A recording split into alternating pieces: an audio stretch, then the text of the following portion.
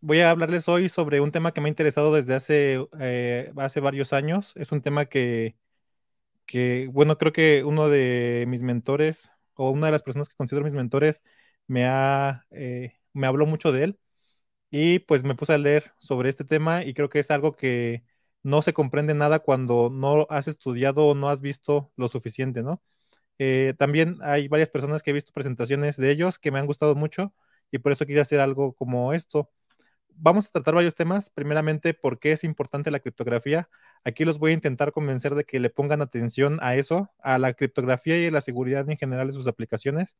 La segunda es el conocimiento básico que todos los desarrolladores deberían de tener. Primeramente, algunos conceptos básicos. Después vamos a hablar de primitivas criptográficas y finalmente de los protocolos criptográficos. No os va a dar tiempo de hablar de muy a profundidad de ellos, pero les voy a dar una pequeña introducción a cada uno de estos temas para que sepan más por dónde buscarle. A veces cuando uno no sabe nada, nada de algo, eh, primero se dice que desconocemos lo que desconocemos, ¿no? Por lo menos de esa sesión van a, van a salir sabiendo eh, que no saben ciertas cosas y que van a saber cómo buscarlas. Después vamos a hablar un poquito de cosas, de cómo hacer que las cosas salgan mal o cómo hacer que que nuestra aplicación está completamente rota. Y finalmente, pues eso, ¿qué, sigue para ustedes o qué sigue para mí si quiero aprender más? Entonces, la primera cosa que les quiero mencionar es que, eh, bueno, si no salen con nada de esta presentación más que de esto, me gustaría que fueran las primeras tres slides. Entonces, la primera cosa que quiero que se lleven es que uno de los pilares del éxito de un producto de software siempre es su seguridad. Si no, eh, piensen un poquito en la historia reciente piensen un poquito en todos los leaks de seguridad que ha habido, o por ejemplo, piensen en, hay aplicaciones que completamente lo que es eh, o lo, que la aplicación hace depende directamente de que pueda proteger completamente los datos de sus usuarios. Si no lo protegen bien, entonces la aplicación está completamente perdida. La siguiente cosa que quiero que se queden es que aprender un poquito de cómo y cuándo usar estas primitivas o estas herramientas criptográficas les va a dar un punto de vista ventajoso. Esto es porque eh, normalmente al usar las cosas ciegamente, eh, la primera cosa que quiero que sepan es que siempre la están usando. Ustedes siempre han estado, usando criptografía, eh, protocolos criptográficos y cosas similares. Les voy a dar un caso muy reciente que, anda por ahí rodando en la, en la web, que es la, la VPN o más bien los datos de buró de crédito, ¿no? No sé si vieron esa noticia que hace poquito los datos de buró de crédito salieron como liqueados en la, en la web y la gente empezó a hablar acerca de un montón de cosas eh, sobre esto, ¿no? Pero lo que pasó y, lo que creo que estamos en el punto más débil de todos es que para conectarte a buró de crédito como un cliente o como alguien que quiere consultarlo, la forma más sencilla es usando una VPN una VPN da la impresión de que está seguro, pero lo que estaba pasando es que eh, estaban usando pues eh, herramientas criptográficas débiles. Estaban usando un, grupo de criptografía, un grupo que se llama de Diffie-Hellman, que es un número que, se usa para criptografía simétrica, ahorita lo vamos a hablar. Estaban usando uno muy débil, uno que hace años ya estaba desrecomendado y que herramientas modernas de, de Linux no te dejaban usar por justamente inseguro. ¿Por qué estaban en la peor de las, de las posiciones? Porque ellos creían que estaban protegidos teniendo, estando atrás de una VPN, pero en realidad esa, esa, criptografía era como, no sé si han visto este meme de un cheto eh, poniendo como un pasador de, una, de, una, de, una, de una puerta. Entonces, en realidad, aunque estaban con la ilusión de estar seguros, estaban eh, en una gran desventaja. Por eso es lo que les digo, que usar una herramienta o saber cómo usar las herramientas criptográficas les va a dar un punto de vista ventajoso. Ahora sí entremos en el tema. Eh, ¿Por qué es importante la criptografía? Lo que vamos a contestar aquí es qué es y por qué existe. La palabra criptografía tiene de dos bases, o viene del griego y tiene la base de criptos, que significa oculto, y grafín, que significa eh, escritura. Entonces, literalmente significa escribir de manera oculta o escritura oculta. Más recientemente, y con toda la ampliación que ha tenido, se le ha conocido como el arte de esconder información. Esta frase viene de un libro que, me gusta mucho que se llama Real World, Cryptography y dice que la criptografía es la antigua disciplina de hacer, que, de hacer seguras las situaciones problemáticas. Y vean lo que tengo subrayado aquí, que tienen actores maliciosos. Gran parte o, lo más importante de, este tipo de sistemas o de, cómo proteger tus sistemas es que tengas en cuenta a tus enemigos o quiénes son los actores maliciosos que quisieran hacerse con tu información. Este mismo libro dice que la criptografía es la ciencia de defender protocolos contra saboteadores. Lo mismo, es, e, tener en cuenta quiénes van a atacar tus sistemas. Entonces, para usar la criptografía efectivamente, siempre deberían estar pensando en quién está interesado en robar esta información. Eh, otra cosa que el, que el libro dice es que, bueno, eso lo dice otro libro que se llama The Codebook, que es un libro sobre la historia de la criptografía que también les voy a recomendar al final habla acerca de que a final de cuentas la criptografía ha, resultado o da, ha decidido el resultado de batallas y ha hecho caer a reyes y reinas. Esto lo platica en el contexto de las guerras antiguas, como por ejemplo Napoleón se comunicaba de manera criptográfica con sus generales, o como eh, una reina eh, cayó gracias a, la criptografía, o más bien encontró a sus traidores gracias a la criptografía. Entonces, eh, e, es tan importante como les decía que la criptografía puede tumbar negocios completos, incluso en la, antigüedad ha tumbado reinos completos. No tener un sistema confiable de comunicación que pueda ocultar eh, correctamente la información ha hecho que reinos enteros caigan. Entonces, actualmente nuestra seguridad digital y, nuestra, y la autenticidad de nuestras comunicaciones dependen completamente de esta disciplina o de este conocimiento ¿Y por qué los desarrolladores estamos obligados a conocerlo? Porque somos los constructores de este mundo, ¿verdad? Si nosotros, que somos los que lo hacemos, no lo usamos bien, entonces eh, lo que vamos a hacer es muros de papel y puertas que se abren a la más mínima, eh, al más mínimo, pues, forcejeo, por ejemplo. Hay una frase que me gusta mucho, que, es de un actor eh, de, hecho no encuentran a, quién atribuírsela, pero todo esto que estamos hablando es difícil, pero en realidad es más difícil si uno es estúpido. Estúpido no lo, estamos diciendo en el sentido de, alguien con falta de capacidad mental. Una forma de definir estúpido es alguien necio o alguien que no sabe lo que tiene que saber. Si no saben lo que tienen que saber en cualquier disciplina de la vida, lo único que van a lograr es hacer su vida más difícil. Entonces, por eso es importante conocer el conocimiento o tener el conocimiento básico. Antes de empezar a hablar de los protocolos, vamos a hablar de tres conceptos importantes en la criptografía. La primera es, está basada en una pregunta. ¿Cómo puedo asegurarme de que algo es lo que afirma ser?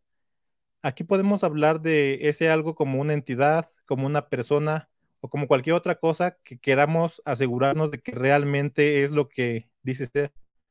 Este concepto en criptografía se llama la autenticidad. En inglés lo, conocemos como authentication y lo que se, eh, se encarga de hacer es de verificar que alguien o algo es exactamente lo que dice ser. Entonces, probablemente donde más lo han escuchado o, donde más han escuchado acerca de authentication o de autenticidad es cuando un usuario da sus credenciales. Esto lleva un concepto un poquito más profundo que es para saber que alguien es, es lo que dice ser, le estoy pidiendo información que solamente él conoce, que solamente esta persona me puede dar. Esa información es el password. Esa es una forma de verificar la autenticidad, pero la criptografía te da otros medios de verificar que algo es auténtico o que algo es lo que dice ser. Un segundo caso, no quiero que personas que no tienen derecho se enteren de mi información. ¿Cómo le hago para que para esto? Este concepto en criptografía se conoce como confidencialidad. Eso es encontrar o más bien ocultar información de las personas que no pueden saberlo o que no nos conviene que lo sepan. La confidencialidad es casi siempre lo que se entiende como criptografía, casi siempre, pues de hecho las bases de la palabra están ahí, que es, es escritura oculta. Entonces la confidencialidad es como una de las grandes bases de la criptografía esconder algo que no queremos que otros vean. Y finalmente, un tercer concepto que, quiero que tengan claro es, cuando yo recibo información, ¿cómo sé que nadie la modificó? que nadie la intercambió por otra o que está completa la información que estoy recibiendo. Este tercer, concepto se llama integridad. Entonces, eh, la integridad es saber que la información que tenemos eh, llegó exactamente como se mandó. Ah, para esto, eh, es importante saber que la criptografía también nos da cosas para verificar la integridad de, las cosas. Entonces, como resumen, hay tres conceptos que deben de tener bien claros para hablar de la criptografía o para entender por qué existen diferentes primitivas criptográficas o diferentes formas de hacer criptografía. La primera es la autenticidad. Recuerden que es saber, o más bien identificar a alguien y saber que exactamente esa persona es quien dice ser o esa entidad. La segunda es la confidencialidad, que es esconder cosas de quien no tiene que verlas. Y finalmente la integridad, que es saber que la información que se está transmitiendo está completa, sin cambios y sin que alguien la haya, eh, la haya modificado vamos a hablar de, ahora sí de cómo estos tres conceptos se trasladan ahora a algoritmos criptográficos. Las primitivas criptográficas se llaman así porque son la cosa más básica que puede hacer en criptografía. Imagínenselos un poquito como, como bloques de Lego. Las primitivas criptográficas son los bloques de construcción más pequeños y a partir de ahí vamos construyendo lo que se llama protocolos. La primera eh, primitiva criptográfica que me gustaría mencionar es la más básica de todas y la, la que se usa en todos lados. Algunos criptógrafos, es, esto lo dice Jean-Philippe Amazon, es otro criptógrafo muy activo y muy famoso en la actualidad. Son, bueno, le, llaman la navaja suiza de la criptografía, e, porque se usa en todos lados y sirve para muchas cosas. Estas son las funciones hash. Eh, un hash literalmente es lo que ven en la imagen, es, es un, es como una, un, una revoltura de muchas cosas. Eh, se usa para, para platillos y para cocina. De hecho, el término viene de la cocina. Cuando ustedes hacen un hash es, agarran algo, lo cortan en cachitos y lo revuelven. Y entonces lo que queda es nada parecido a lo que, a lo que empezó. Y de hecho es imposible recuperar, por ejemplo, las papitas o la carne de cómo terminó el, platillo. Eso es un hash. Imagínense eso, pero a nivel de datos. Los hashes son funciones de un solo sentido en, esta forma en la que les, comenté. Introducen datos y ellos les devuelven algo ininteligible o algo que no es posible de, entender, por lo menos de manera humana, y tampoco pueden regresar lo que tenían al principio. Justamente como ilustración, no pueden regresar sus papitas o su carne como la tenían al principio. Así exactamente son las funciones hash se les, conocen como funciones de un solo sentido o one way en inglés. Eh, las funciones hash normalmente, que esto ya se está rompiendo en la actualidad, tienen la característica de devolver una salida fija para cualquier tamaño de entrada. Ustedes le pueden introducir gigabytes de información a una, función hash y esta función hash les va a devolver una salida de tamaño fijo. Eh, por ejemplo, les, va a devolver una salida de 256 bytes, digo bits, perdón. Eh, les digo que eso está rompiendo un poquito en la actualidad porque existen funciones hash muy modernas que permiten que su salida sea customizable. Estas funciones hash se llaman funciones hash extendibles. Entonces, si quisieran una salida de tamaño más grande, podrían pedírsela a estas funciones hash extendibles. Pero las tradicionales y las que más se ocupan tienen la característica de que dan un tamaño fijo de salida.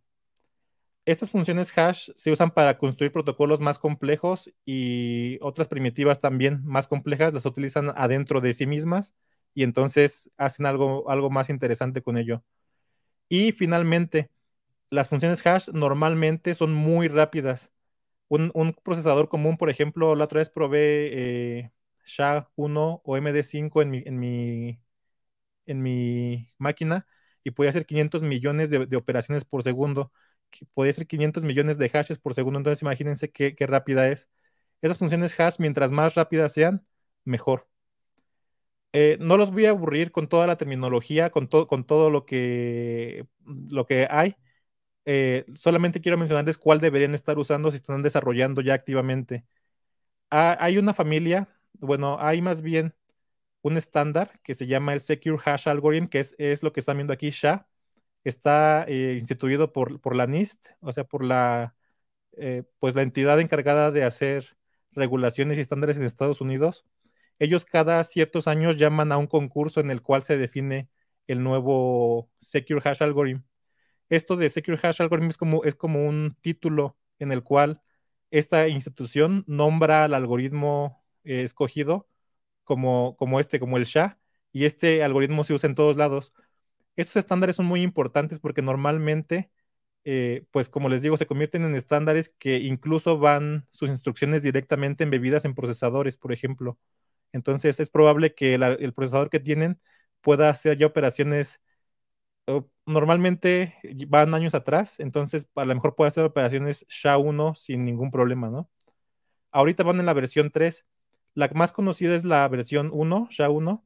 Ahorita mm, sigue, sirviendo para ciertas cosas, pero se encontraron colisiones en ella.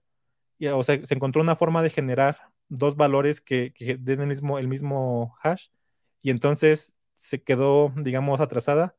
Después salió SHA-2, que tiene algunas, algunas vulnerabilidades también que ya se encontraron. Eh, bueno, no, no, vulnerabilidades como tal, sino formas de atacarla de tal manera que pueda ser eh, mal usada muy fácilmente.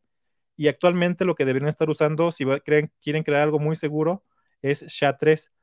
SHA-3 es un algoritmo que, se llama KECAC, que justamente tiene esta característica. Puede ser extendible, es decir, puede devolverles funciones de diferentes tamaños, o más bien salidas de diferentes tamaños. Entonces, mi recomendación es, si van a hacer algo que quieren que sea muy seguro en cuanto a hasheo, deben estar usando SHA-3 versión 256. En realidad, de cada uno de estos temas podríamos hacer una presentación entera para hablar de, qué significan las colisiones, de cuáles son las medidas de seguridad de un hash, pero ahorita nos vamos a concentrar en, recomendaciones específicas. Después vamos a hablar de, del hashing de passwords. Una muy mala práctica que se hizo en épocas pasadas y que algunos grandes, incluso de la informática, todavía hicieron, es usar estas funciones que les acabo de contar para hashear password o hashear secretos. Esto es una mala práctica. Mm, no me gusta esa, frase, más bien digamos que es una práctica inconveniente en el sentido de que eh, quiero que noten la, parte final de, los hashes normales, que es mientras más rápidas, mejor. Imagínense que ustedes hashean secretos con, con una de estas funciones. ¿Cómo piensan que pueden ser atacados, por ejemplo, para encontrar o revelar un secreto? Pues la forma más fácil es con fuerza bruta. De hecho, eh, pues cuando hashean algo con una función normal, con un hash normal como SHA-3 o SHA-1 o el que sea, o a veces han hasheado hasta con MD5, por ejemplo, que es todavía mucho más rápido. Entonces lo que hacen están siendo vulnerables a ataques de fuerza bruta. Les decía, si un procesador común puede hacer 500 millones de hashes por segundo, cuántas adivinanzas puede hacer por, segundo un procesador especializado en eso. Y es justamente en eso contra lo que están especializados los, los hashing de, password. Estos son un poquito lo contrario de, los hashes eh, normales. Estos, mientras más lentos sean, mucho mejor. O mientras más costosas sean en, en, procesamiento o en memoria, mucho mejor porque van a ser más difíciles de atacar. Requiere un atacante mucho más recursos para lograrlo. Eh, hay formas de hacer un algoritmo que sea muy difícil de atacar usando software o hardware especializado. Ahorita existen FPGAs o GPUs, por ejemplo, que pueden calcular no sé cuántos billones de hashes por segundo, de hashes normales, que es justamente lo que se usa para hacer mining en, Bitcoin, por ejemplo. Entonces, teniendo un aparato de estos, es muy fácil atacar por fuerza bruta los hashes normales es por eso que estas funciones están especializadas en ser costosas y lentas e incluso prohíben, o más bien, eh, son tan costosas en memoria que es prohibitivo eh, atacarlas con hardware especializado. Estas funciones normalmente también son customizables en el sentido de que las pueden hacer más lentas, más consumidoras de memoria o más consumidoras de computación. Entonces, ese es el objetivo, hacerlas lo más costosas posible. Y finalmente, esas funciones permiten que sean fáciles de usar, dan un mejor developer experience o una mejor experiencia de desarrollador para que no puedan ser usadas eh, de manera incorrecta fácilmente. Igual hay una serie de, funciones que pueden usar. Lo que deberían estar usando ahorita es Argon 2 o Bcrypt. Bcrypt sigue siendo usado en algunos lados, mm, pero no es tan fuerte como Argon 2. Argon 2 es el estado del arte en cuanto a hashing de password. Es la más customizable, la más costosa de todas y la, digamos que la más moderna. Ah, igual, esta función ganó un concurso que es el Password Hashing, eh, el, concurso de, de, hashing de password hace poquito y ha estado demostrado que es una función que no tiene vulnerabilidades que se le pueda, que se pueda aprovechar contra ellas.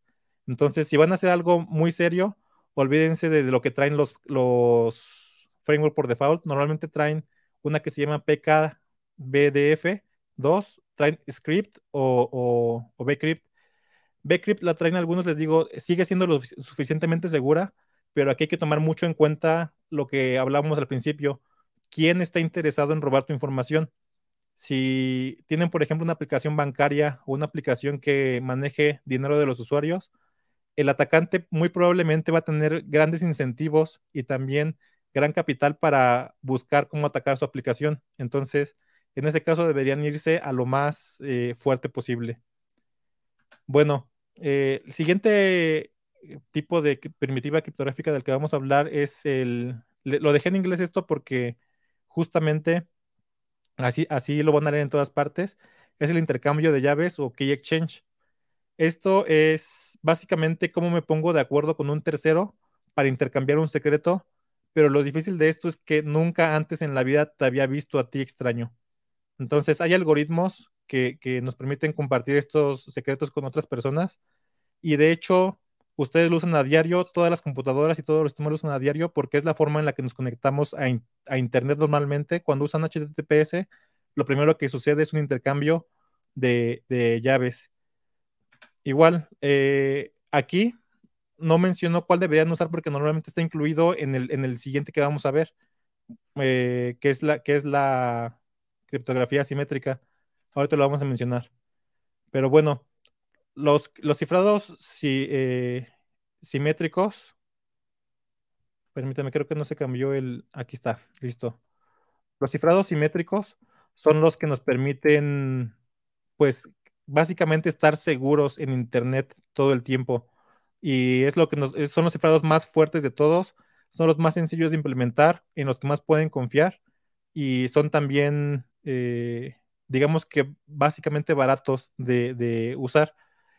Eh, estos existen dos tipos principales, los cifrados de bloque, que son aquellos que les permiten eh, recibir un bloque de tamaño fijo de información y les devuelven otro bloque de tamaño fijo o los cifrados de flujo, que es lo que más se ocupa en Internet. Cuando ustedes descargan una página, por ejemplo, descargan un archivo cifrado, no saben el tamaño del archivo, lo que hace es, cifrarlo como si fuera un flujo de información de tamaño indefinido y lo que les devuelve el algoritmo es un flujo de información del mismo tamaño. Entonces, eh, es lo que más se ocupa y les digo que es lo más fuerte, lo más seguro actualmente. Eh, estos cifrados tienen la característica de que se usa la misma llave para cifrar y para descifrar. Entonces, eh, mencioné antes el cifrado de llave, el intercambio de llaves, porque si quieren intercambiar información con un extraño de esta manera, antes de siquiera poder usar este cifrado, tienen que hacer un intercambio de, un secreto o de una llave. La seguridad de estos eh, algoritmos depende completamente del tamaño de tu llave. Si el algoritmo no tiene ninguna falla o no tiene ninguna vulnerabilidad que explotar, todo depende de qué tamaño de llave elijas.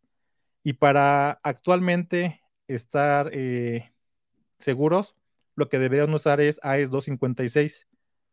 Muy pronto, o pues es lo que dicen por lo menos los, teóricos de la computación cuántica, van a lograr eh, hacer algo con la computación eh, cuántica ya práctica.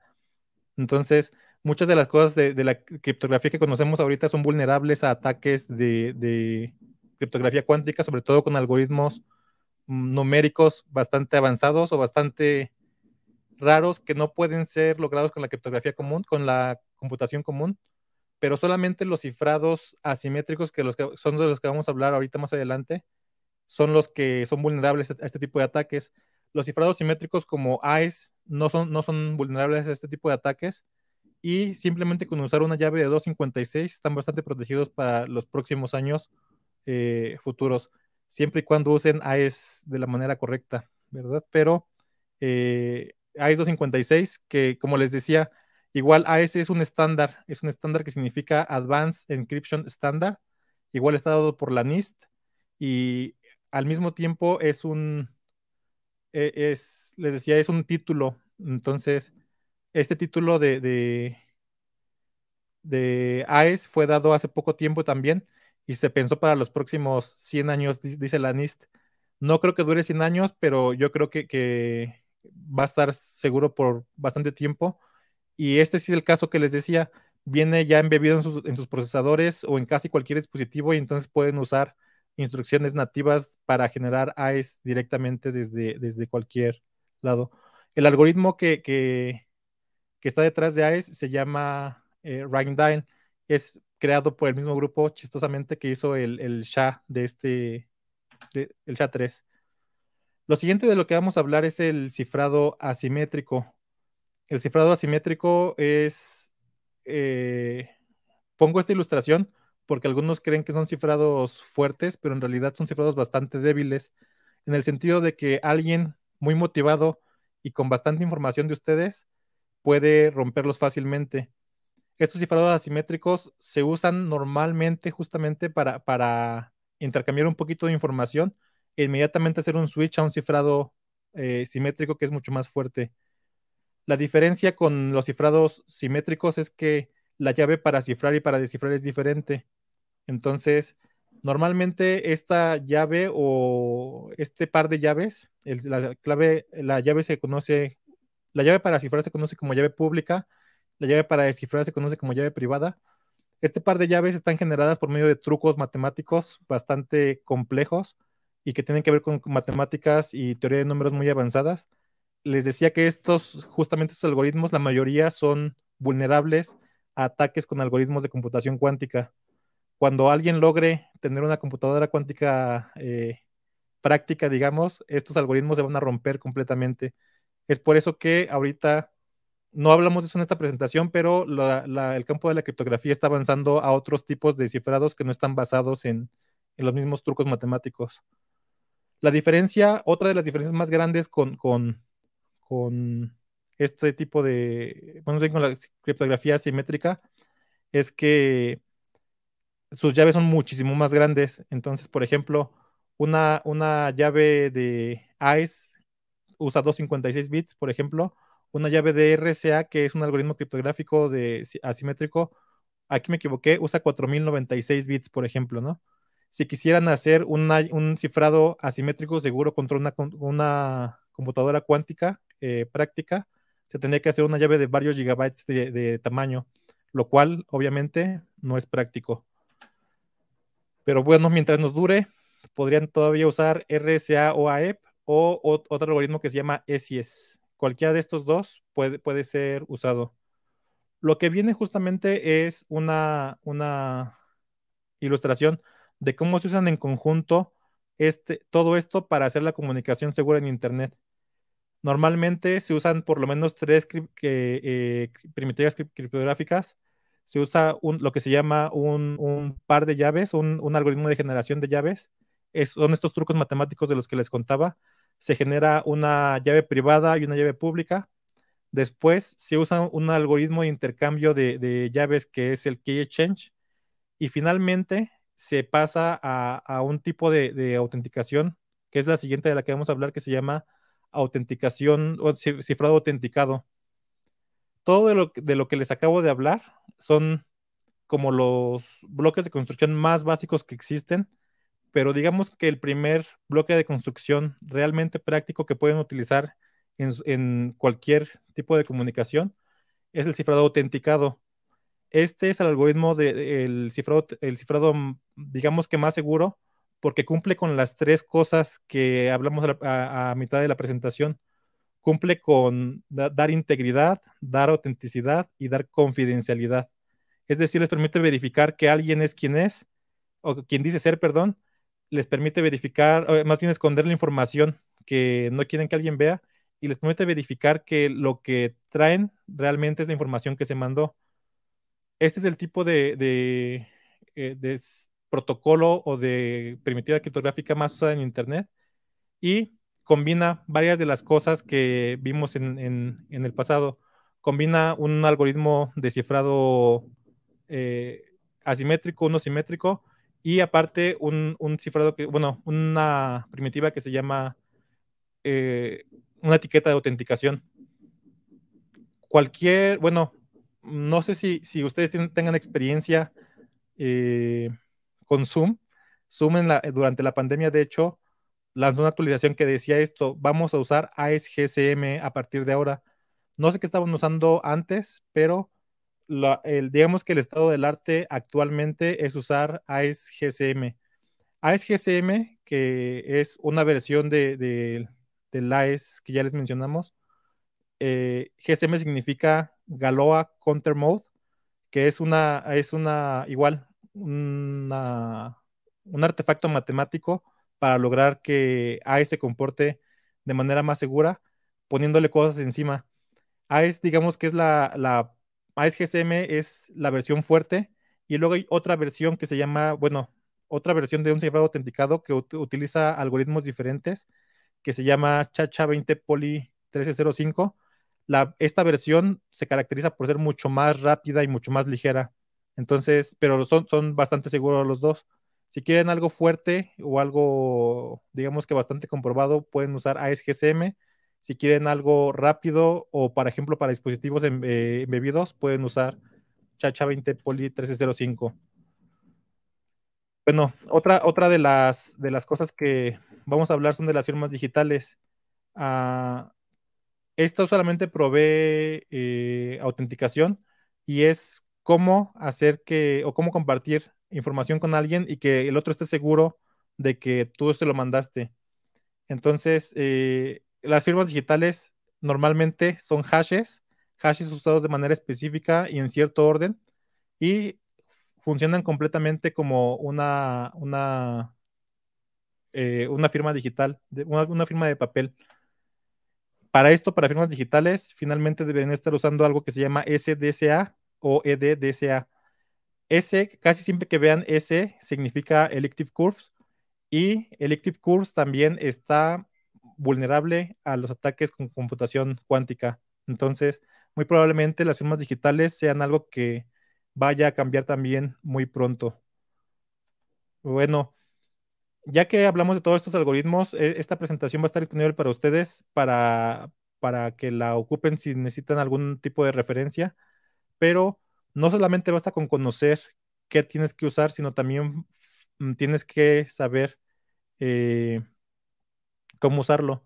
Entonces, la primera forma en la que pueden mal usar cualquier algoritmo criptográfico y cualquier eh, cosa que tenga que ver con seguridad es usar una muy mala fuente de aleatoriedad. La aleatoriedad es una de las, de las cosas más importantes en criptografía. De hecho, cualquier llave que generen, por ejemplo, para AES 256 o cualquier llave que se genere para AES GSM, debería de ser una llave aleatoria. No es como lo pensamos como un password en el que tú escribes algo que, de lo que te vayas a acordar o algo similar, porque todo ese tipo de cosas está sesgado, ¿no? Si alguien te conoce a ti como, como persona, por ejemplo, puede empezar a adivinar tus llaves por ahí, por lo que conoce de ti eso le está quitando fuerza al algoritmo. Entonces, normalmente lo que se usa para las llaves de este tipo de cosas es una serie de, bits generados aleatoriamente. Si esta fuente de aleatoriedad es mala, si esta fuente de aleatoriedad es predecible, entonces lo que estás haciendo es dar, es completamente romper la seguridad de tus algoritmos. Normalmente cada sistema operativo o cada sistema eh, en el que vayas a poner tus, tus desarrollos de, tienen diferentes fuentes de la autoridad. En, Linux, por ejemplo, hay un archivo que se llama urandom. urandom es lo que te puede dar una muy buena fuente de seguridad, de, aleatoriedad, y deberías estarlo usando lo máximo posible. Entender este tema también es un tema de una presentación completa, porque como saben, la aleatoriedad completa no existe en la computación, pero usar una buena fuente de, aleatoriedad es algo muy importante para que tus algoritmos estén seguros. Después es usar mal, los algoritmos. El ejemplo más sencillo que les puedo dar es usar un hash, por ejemplo, eh, normal para cifrar secretos. Es una muy mala idea. O usar un cifrado eh, simétrico, aunque sea muy fuerte, para, algo que requiere los tres eh, tenets de seguridad, autenticidad, integridad y confidencialidad es también una mala idea, porque AES normal no te, no te provee ninguno de los otros dos más que confidencialidad. Entonces, usar un algoritmo para la que no es es una mala idea. Tienes que saber para qué sirve cada cosa y usarlo en el lugar correcto. Y eh, más bien, estaba, estaba explicando la, slide siguiente, que es usar el incorrecto, y el otro es usar malos algoritmos. El ejemplo más fácil que les puedo dar de, de, de ASGC, de esto es ASGCM. ASGCM requiere un contador. Si ustedes le dan el mismo contador eh, dos veces, rompen completamente la seguridad de su algoritmo porque hacen que cualquiera que tenga dos mensajes de, de estas dos diferentes usos va a poder descifrar su llave sin ningún tipo de problema. Entonces, son tres cosas básicamente. Tener una buena fuente de, de, de, de aleatoriedad, después saber qué algoritmo usar y cuándo, y finalmente usarlo correctamente o leer el manual. Finalmente, ¿qué sigue para, para los que están por aquí? Pueden estudiar libros basados en, más bien libros de criptografía. Básicamente existen dos que yo, que yo recomiendo. Se llama este, Criptografía del Mundo Real, y Serious Cryptography. Si quieren poner manos a la obra y practicar y entender a fondo cada una de estas cosas, hay una cosa que se llama CryptoPals Crypto Challenges, que es una belleza.